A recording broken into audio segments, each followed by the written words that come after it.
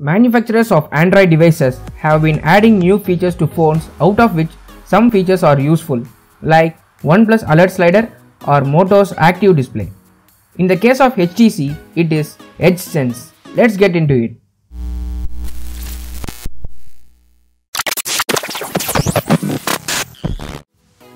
HTC's EdgeSense is fairly limited.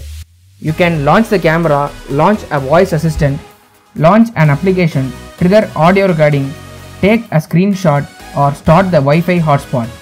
These can be activated by one of two squeezes.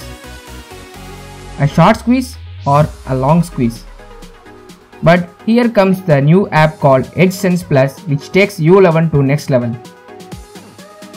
As far as actions are concerned, you can launch an application, activate a shortcut, toggle things like Bluetooth, Wi-Fi, vibration, do not disturb, launch assistant and a whole lot more over 30 actions. EdgeSense was called a gimmick by lot of reviewers when the HTC U11 was launched.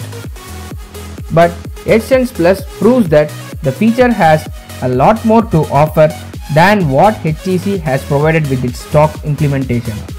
That's it for this video guys. Thanks for watching. If you like this video, give a thumbs up and subscribe to TechBeyonity if you haven't already. I will see you soon.